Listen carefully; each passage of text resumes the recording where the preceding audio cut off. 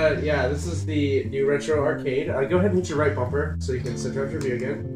And oh, one more time. Go do it one more time. There you go. All right. So it's a virtual arcade in Oculus, and basically you can play old school arcade games. You can play uh, bowling. You can basketball. There's a Super NES. There's a bunch of Game Boys.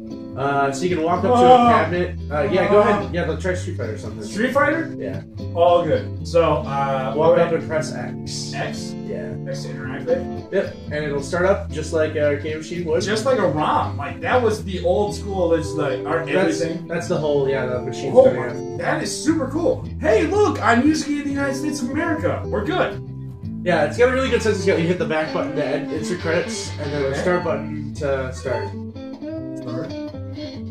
It's absolutely beautiful, though. Like you actually really feel like you're in an arcade. It's great. I even feel like there's the dinginess on, like up here on like the border around the screen. There's like little pock marks.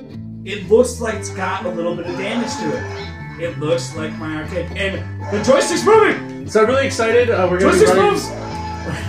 we're gonna be uh, doing a couple of these at Midwest Gaming Classic this year. Oh, So Shit. people can stop by. Uh, pretty much like Jack and the Matrix, pretty much of an '80s arcade. So ah, ah, if you haven't been able- screen in the wrong spot. If you haven't Damn been it. able to experience arcade in the last Damn 10 it. years, uh, this will be a, a good way to digitally do so.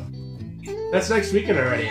So, I am so stupid excited for this. are there any arcade machines anybody would want to see? Uh, they can definitely get them added in. That's for sure. So, Yeah, throw out. I saw Golden Axe.